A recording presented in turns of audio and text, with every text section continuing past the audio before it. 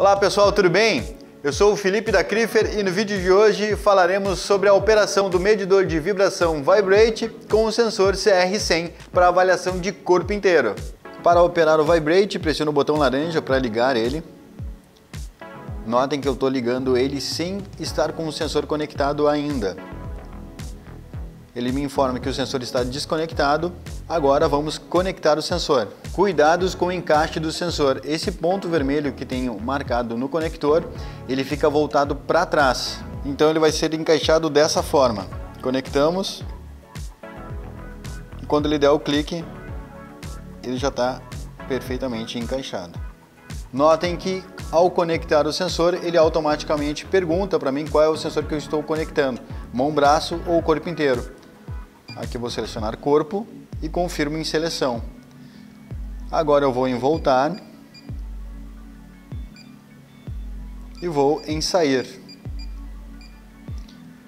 Notem que na parte superior esquerda eu tenho a informação de B de body, F fast e o A de automático. O equipamento está pronto para sair medindo.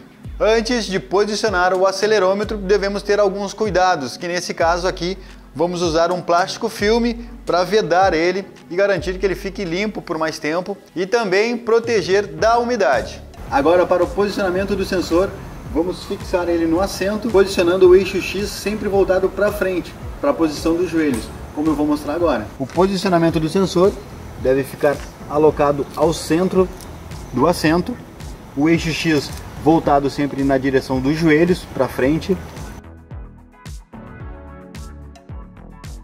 Agora podemos dar início ao percurso.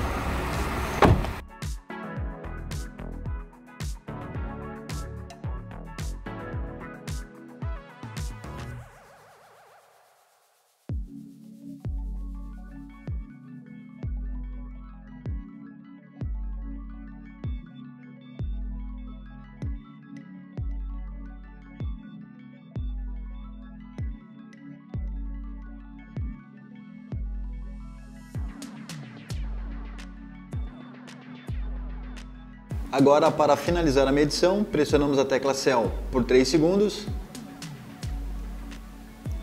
Vamos no menu de ensaio novamente e parar, confirmando na tecla Cell.